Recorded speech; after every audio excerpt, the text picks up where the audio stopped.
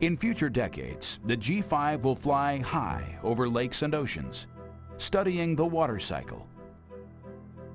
It will fly fast across America, tracking pollution over urban centers and land use in the countryside. As part of international campaigns, it will deploy farther afield to study ice sheets in the Arctic and Antarctic.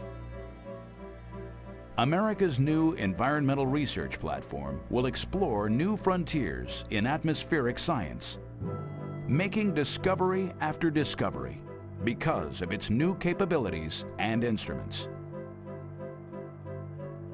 Every four years, the world's champion athletes set new records as they perform, in the words of the Olympic motto, faster, higher, stronger. For HIAPER, the coming decades will see scientific performances that are higher, faster, farther.